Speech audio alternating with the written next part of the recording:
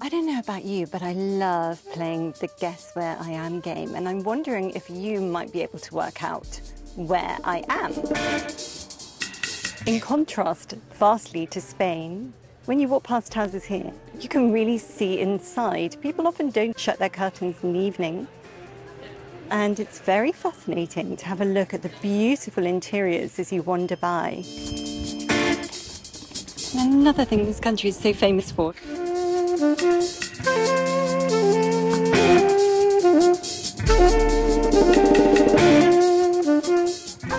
is just a stone's throw away from the palace of the King and Queen of the Netherlands.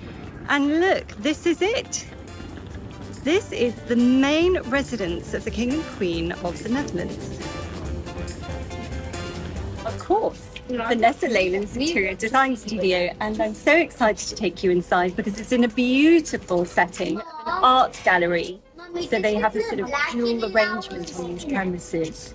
And we're in luck today because the artist of some really great work from Ukraine happens to be here as well, taking away some art that he's just sold for a client.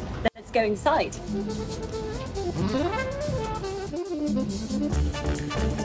This is Lucas. Tell me about what you have in this incredible space here. This, I mean, look at this, isn't it beautiful? Yeah, so what we have in the gallery is uh, anything that's not abstract, even though some works really are very close to abstract. Yeah. This one is an American living in Europe, Michael Ryan. It's generally European, from Western Europe, Eastern Europe. I had an exhibition, which is just over, of Ukrainian artists from Ukraine, for me to support them. Have you got any of the work by the Ukrainian artists actually in the gallery right now? That very sculpture is going to be brought away in a little while. Ah, so sorry, this is about to be collected, you say, Lucas? We are going to bring it. We're going to bring it. And Oh the my goodness. the sculptor is actually coming in in just two minutes. One second, he's around the corner. He's going to dismantle it and we're going to bring it together to the to the client who bought it. You're welcome in. Uh, your father for sure. the sculptor, he's running away. And you say there are two pieces. Which one's the second The other one in the corner, also the bigger ones. Okay, the one at the window in the corner. Yeah, that's the one. Oh, fantastic. Hello. That's Pavlo, the artist who made these both sculptures. Oh my goodness, hello. So it also brings me to say that this is what makes my work so much fun. The differentiation, the different things one does, and the different people one meets. Of course, art need not be political. I have to carefully tread. Keep people don't want war scenes in their living room, even though they might be very interested like what mm. is happening. And also, I really love what you said about the way that actually it can represent a totally different aspect to Ukraine to what we now think about automatically, which is war when we hear the word Ukraine. What you're doing is you're challenging that discourse and saying, you know what, these are people with their own identity, their own culture, and let's express that and show what it is. So, Very much so. yeah, I love that. A peaceful time. Це наш рідний Крим, який у нас е, анексувала Росія. Crimea uh, is so close to us. That's the place where they always were resting every summer holiday, um, which is now annexed by Russia. Е, Це місце Таханкут називається. Uh, Це in саме Crimea, that's the за place. західний Uh, край е, Tarkhanut is its name. полуострова. That's the western part of uh, Crimea. Okay, so this is where he produced the art. So he produced the art in a time of peace. Yes. And it, it, what what is this? Tell me about because it looks like a piece of sea driftwood here. Е, Ну, так воно і виглядає. Тут е, взагалі-то дуже багато роботи. Е, Я намагався те, що я знаходив в морі, піднімати його з дна і зробити його максимально подібно до природи, наче рука людини там менше всіх торкалась. Um, that's the, so the Tarkhankut is the piece where he used to dive every summer. Oh, amazing! This piece of stone, it's from the sea in Tarkhankut. You have the white rocks, which are like this white uh, mm. sand rocks. There, it's like a bit like a Normandy uh, coast, let's say, where you have this beautiful rock. So he was used to dive there, and when he was diving, he saw these beautiful stones, and he wanted to uh, keep the nature as much as possible. So um, his work would be like it's like it's not touched by the human hand let's say. That was the whole idea. And it has very special lighting. He didn't say it now but he's told me that before that when in it's a really the really south of ukraine so it has a different sunlight. So he was seeing the shadows and so it was kind of in this the, the block didn't look like that but it was because of the play of light he was seeing something in it and he was trying to see to make something what he saw so he was making pictures there and actually to this memory what he saw there when he was diving in crimea let's That's say. amazing.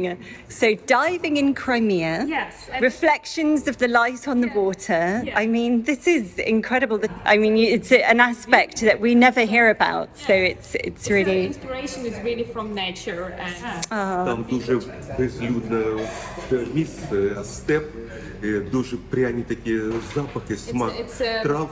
е, Жодної людини і It's a very величезні wild, скелі, uh, десь part приблизно of, uh, 50-70 метрів. where my parents used to go every summer before the annexation of Crimea, like their whole life. It's a very wild place where you have like a steep, uh, the, the, the, the field ste- steps. Uh, Yes. So a very plain field, like absolutely no Dicky- hills or dicky anything. kwiety. And then you have suddenly a huge like this. like the white cliffs of Dover. Yes, exactly. Yeah. That is Except- it's very it's a beautiful smells of Да. wildflowers. It's a very wild place. No І villages, nothing. сонце дуже високо, і коли цей камінь ставиш е, Е, на ґрунт. Е, сонце таке яскраве і е, цей камінь, ти все бачиш на його згибах. І просто я брав пастель і просто на її і просто пальцем малював те, що я те, що я намагаюсь побачити. І вже вирубав, робив фото, привозив вже в Київ і в Києві вже обробляв.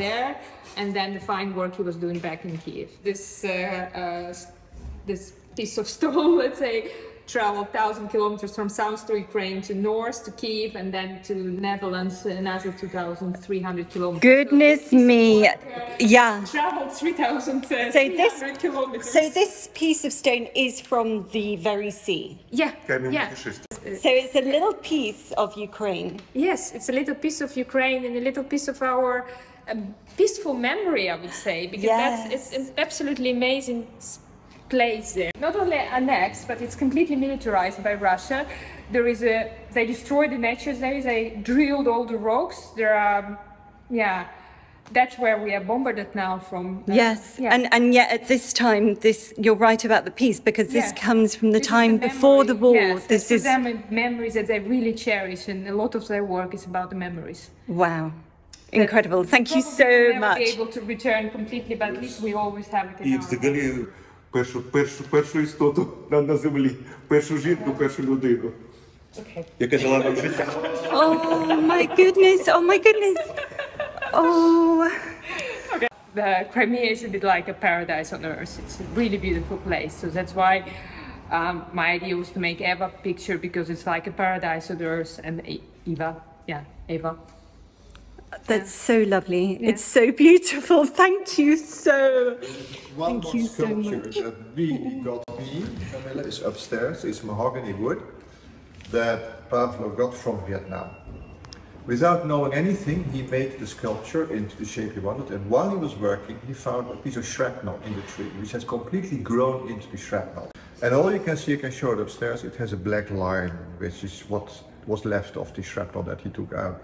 And of course, imagine making a sculpture in in Ukraine, in the middle of the war, to find the remnants of not a horrible conflict 50 years ago. The pain and the gave it gave symbolism. me goosebumps when I heard the story. My goodness. Story about his other work, this one big wood of two people making love. Yes. He said Exactly. that's when Russia started bombarding Ukraine this October, um, and Kiev was in the darkness many days without water, uh, without electricity. Um, my father was working in, uh, in, uh, in territorial defense forces all the night, and in the daytime, when there was a bit of light, natural light, he was cutting this piece of wood for three months. So that's the, the, the peace he could find in his uh, mind. Because like e- even in this terrible terror time, when we are as a nation terrorized by Russia, we're thinking about love and peace and making this beautiful sculpture. What an incredible. В моменти між с- стрільбою я приїжджав і в ротаційні дні робив це велике In дерево. the days when he had a rotation and break from his service uh, in the military, he was doing this work. Thank you so much. Absolutely amazing. I mean, look at this. This is like a treasure trove. It is a treasure trove. People love it when they come and see here and they buy they find things Yeah. and they get very enthusiastic. Which The- yeah. It's a lovely uh, to, to, to be with them. It is. The, uh, It's like a sort of Aladdin's cave Yes. in here because you never know what you could discover just That's around a corner. that's right. Here we are entering the quarters of Vanessa's interior design studio. Hello, Nessie. Oh my goodness, look at this space. this is beautiful. Tell me about where we are. Uh, so, this is my meeting room, which is on the first floor of Lucas's Gallery de Twee Pauwen. And um, yeah, it's all, all of the furniture in here, and in the room out there is furniture that I've either designed or suppliers that I work with very closely.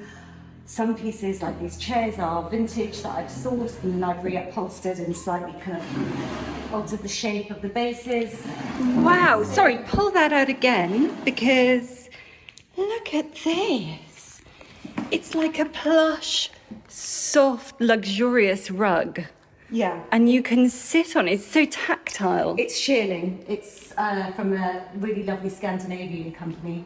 Um, and then just nice detail, beautiful uh, velvet um, From the Yarn Collective on the back. Oh, I love that. So you've got the two tonal Yeah. effect and you've got different textures all wrapped into one. Exactly. Oh, amazing. So you immediately lull your clients into this sense of exuberance and luxury. Well, that's the idea. And, um, over time, we've got other kind of um, product designers that are new and up and coming that we also want to be in this space. So it's like a lovely way for us to showcase their work.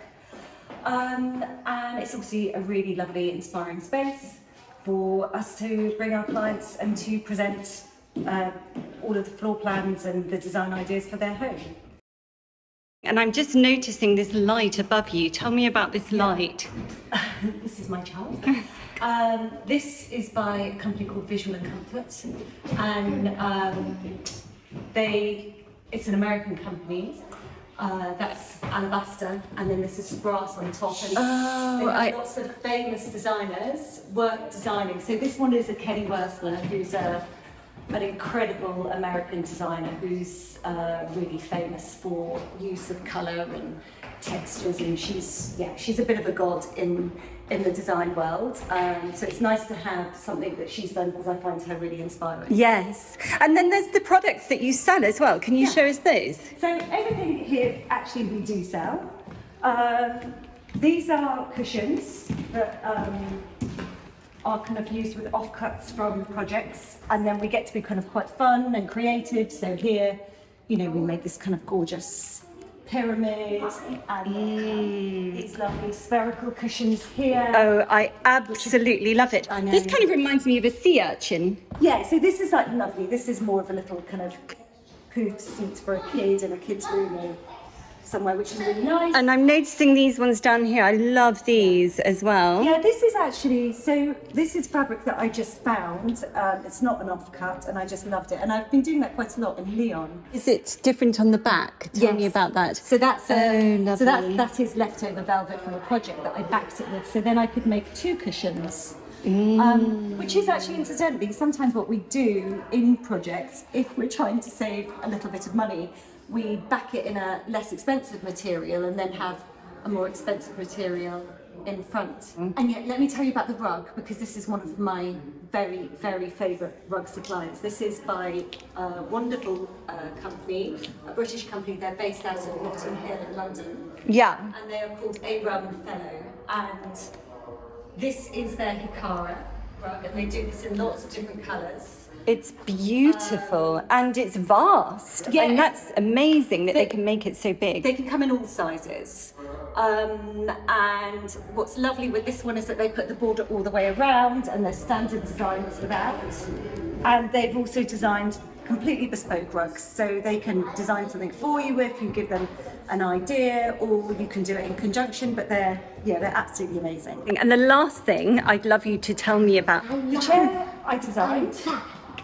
So this is inspired from a New Orleans project that we did. Um, and we found this uh, chair frame by this American kind of vintage reclaimed company called Chairloom.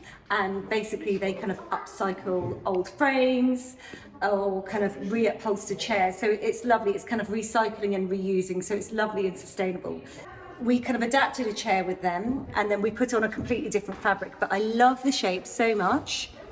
Um, and it's super comfortable that we recreated it here as well for the showroom. This is amazing. Yeah, it's great. And the fabric is super fun, super funky. It really is. Um, it was fabric that was again actually left over from my upholsterer from another project, not mine. Um, and it had been in, in his workshop for years. That looks So- very comfortable. It is really comfortable. Gosh, you sort of, you're almost cuddled by the arms of this armchair. And it's lovely because it's got this kind of this dip that goes down. Oh my goodness, I hadn't noticed that. You're right. So it's dipped into the shape of Yeah. your arm. That's magnificent. Can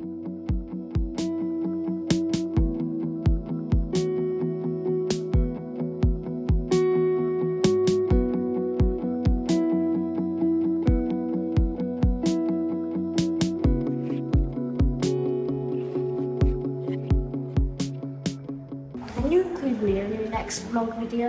Absolutely. It's time to leave. It also is located in a stunning setting right here in the town centre of The Hague. Buying a little ice cream here. No. Look, you can see the crowns all the way down this road leading to the art gallery. Lizzie, tell me about the king and queen. So it's King Willem and his wife is Maxima, who's actually originally Argentinian. The people's people. Yeah, and they're really, really loved. So you have this fabulous day called King's Day, which is when everybody dresses up in orange. Um, so it's Oh, you like orange? My favorite day. and it's it's really really fun and it's to celebrate the king's birthday and it's great So everybody has a big party. big parties everywhere for the whole day Wow. and night So it's a public holiday, no yeah doubt. absolutely it's brilliant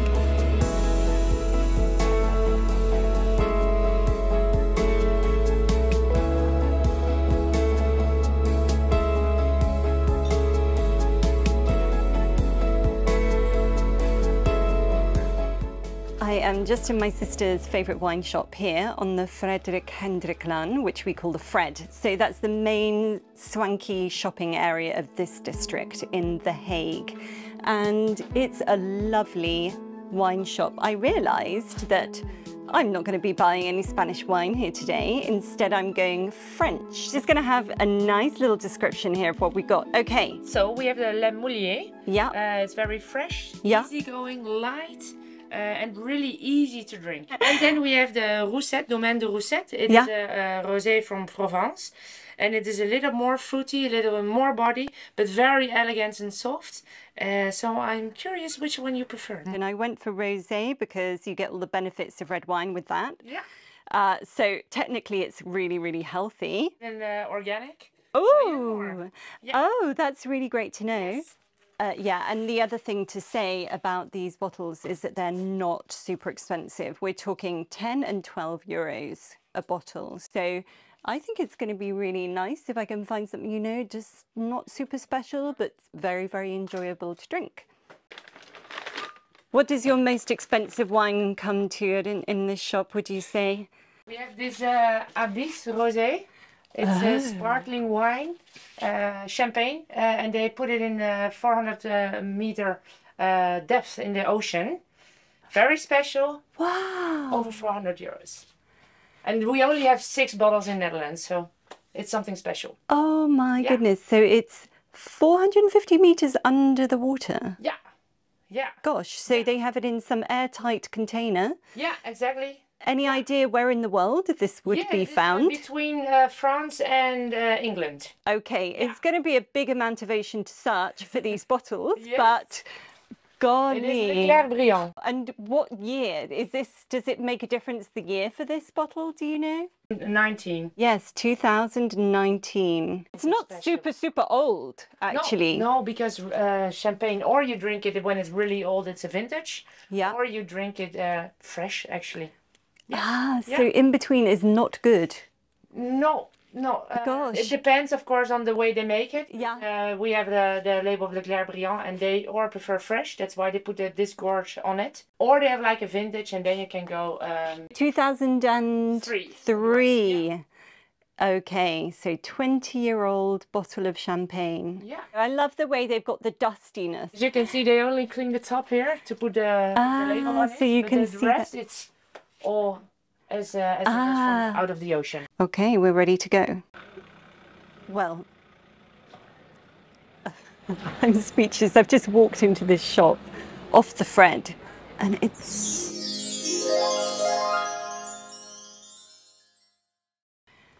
I am inside, and the gentleman has very kindly allowed me to just show you some of his beautiful items. So let's have a look.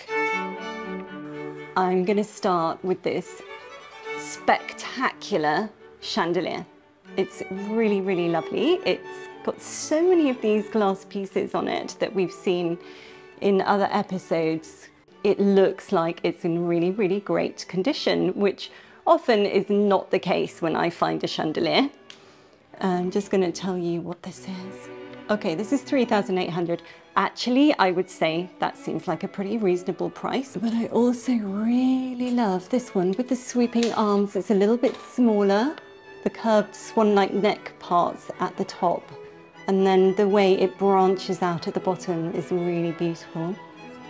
So this one is 650 euros. But I think these are quite fascinating as well.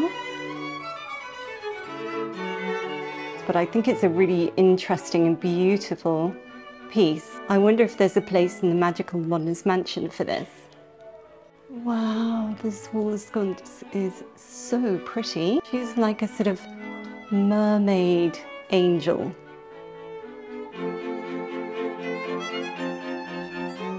Oh, I've just discovered something that takes me back to my childhood when my parents had parties they had one of these punch bowls where you have a ladle and you will pour your punch into these little glass cups along the sides. That is absolutely divine. Can you see the ladle inside? And this leafwork is absolutely beautiful. I'd say that there may be a few of the cups missing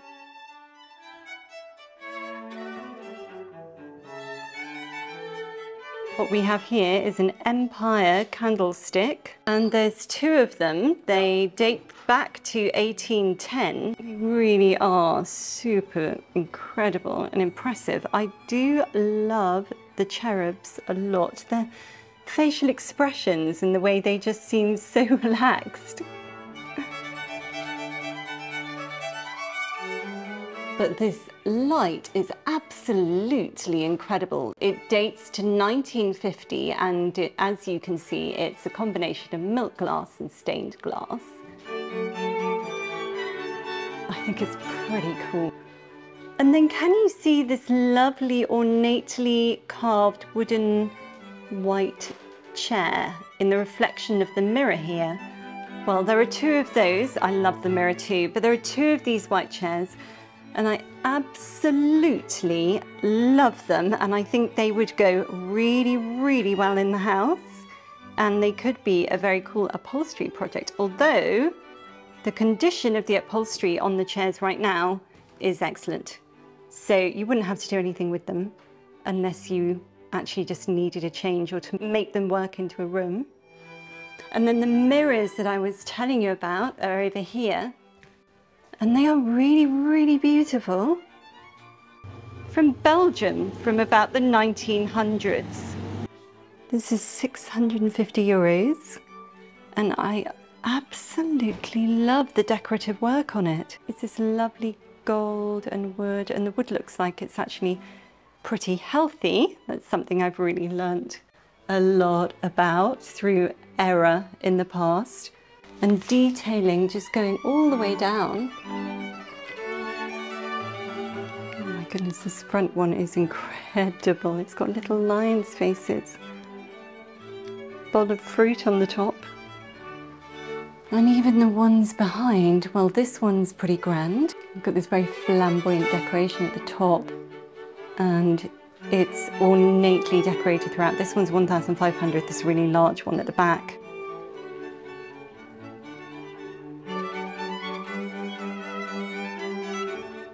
So this rear mirror is French, dating back to about 1880. The condition is really good. And it's really interesting because they call this an antique brocante. So they don't claim that everything is antique in here. Um, and I really like the selection of pieces that he has chosen. They've got history, they're beautiful, the quality in the shop is really high, and I'm hopeful that maybe in time we'll be able to buy a couple of items from here eventually.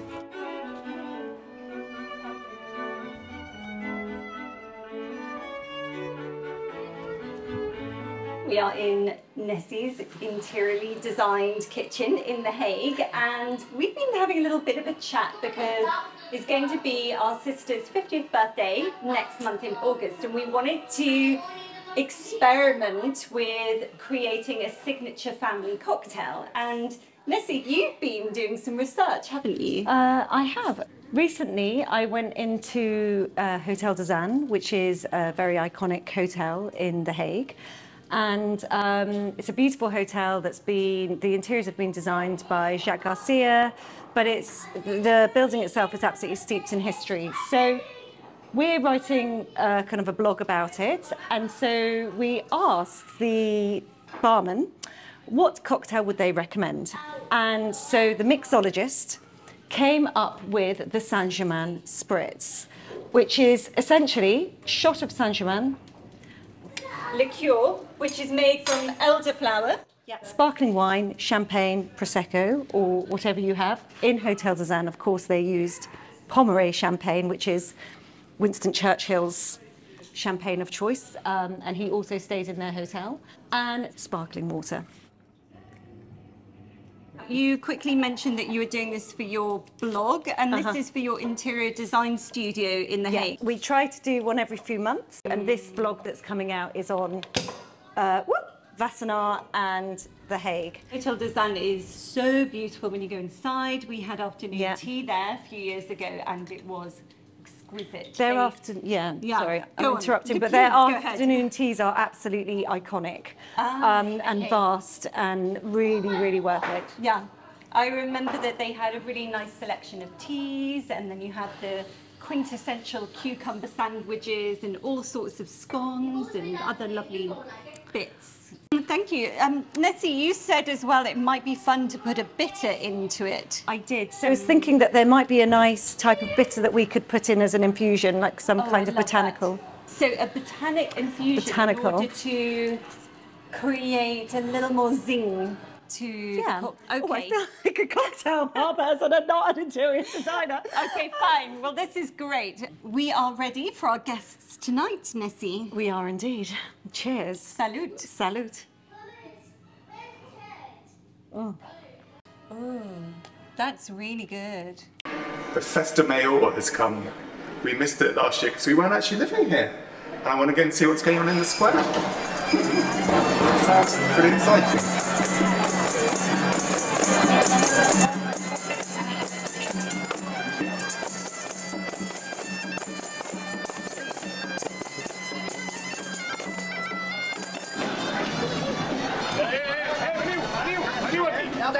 Cuidado que hay mucha gente, ¿eh?